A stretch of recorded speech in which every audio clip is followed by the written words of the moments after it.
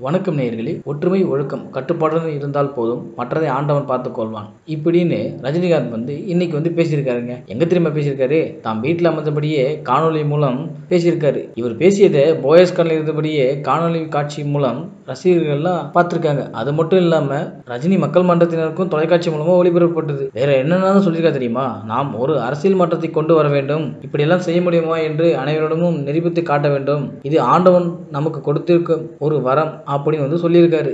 மேலும் என்ன சொல்லியிருக்காரு தெரியுமா? உங்கள் குடும்பத்திற்கு முக்கியத்துவம் கொடுங்கள். அவர்களை விட்டு விட்டு வந்து மக்கள் பணி செய்யுங்கள் என்று நான் சொல்ல மாட்டேன். எண்ணங்களை தூய்மையாக வைத்துக் கொள்ளுங்கள். உங்களுக்கு இருக்கும் பொறுப்புகளுடன் இதுவும் ஒரு கூடுதலான ஒரு பொறுப்பு அப்படின்னு பேசியிருக்காரு. இவங்களுக்குள்ளேயே சண்டை வரும் அப்படின்னு வந்து நிறைய பேர் நினைச்சிட்டு இருப்பாங்க நம்மள. அதுக்கு ஒருபொழுதும் இடம் கொடுக்கக்கூடாது. மற்றதெல்லாம் ஆண்டவன் பார்த்து கொள்வான் இதையெல்லாம் பேசியிருக்காரு. இவ்வளவு பேசியிருக்கிற ரஜினிகாந்த். காவிரி தீர்ப்புக்கு தமிழகத்துக்கு அகைன்ஸ்டா ஒரு தீர்ப்பு வந்திருக்கு. அதை பத்தி ஏதாச்சும் குரல் கொடுத்துருக்காரா? அவர் கட்சியும் அவர் கட்சியோட தொண்டர்களையும் எப்படி இணைக்கலாம் எப்படி ஆட்சி பிடிக்கலாம் இதில் குறிக்கோளாக இருக்கிறவர் காவிரி தீர்ப்பு இன்று வந்திருக்கு. அதுக்கு ஏதாச்சும் ஒரு விளக்கம் கொடுத்துருக்காரா?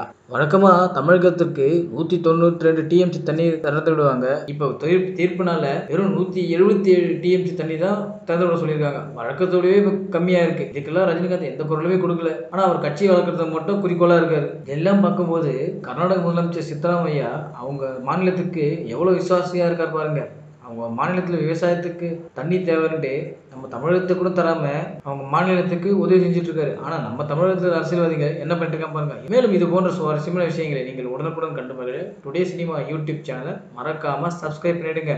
டுடே சினிமா நேர்களுக்கு நன்றி வணக்கம். Please subscribe to today cinema